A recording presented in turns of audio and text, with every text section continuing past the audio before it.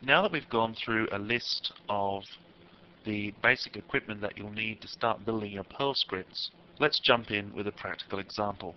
Before we do that though, I should draw a distinction between different ways of testing your Perl scripts.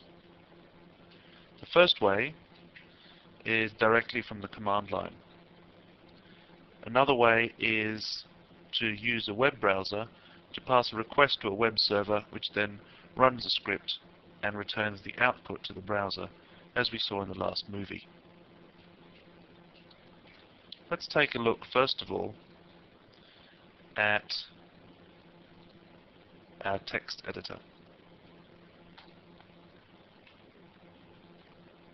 And we're going to write our first Perl script. In the long tradition of programming instruction, your first script is going to simply output the words hello world to the user. And who am I to break with that tradition? We're using the Windows system here to create our first script and there are some slight differences in the way that we put together the script, even though it's a very simple one, between Windows and other systems. And we're going to look at Windows in this movie and then we're going to be looking at uploading our scripts to our Linux server in the next movie. But for now, the script we're going to write is very simple. Simply print hello world and I'm enclosing that hello world in single quote marks with a semicolon at the end.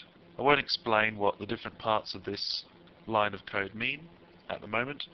All we're interested in now is simply getting a script to work and to display within our system.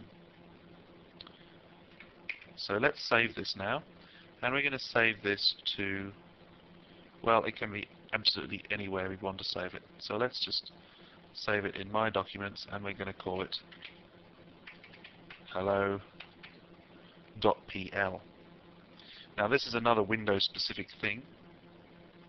The .pl extension is an extension to maintain a file association between Perl script files and the Perl executable.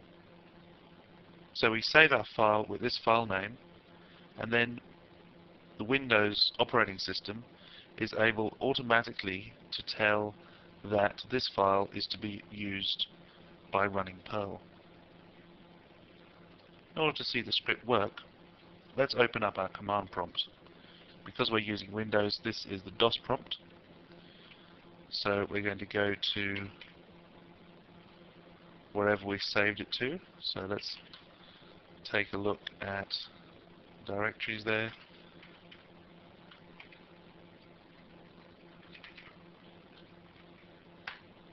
That gets us to my documents and we called it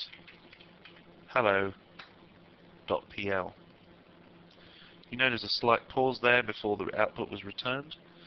That was Windows invoking the Perl executable, running the script. And our first little Perl program has worked fine, and the words hello world have been returned to us.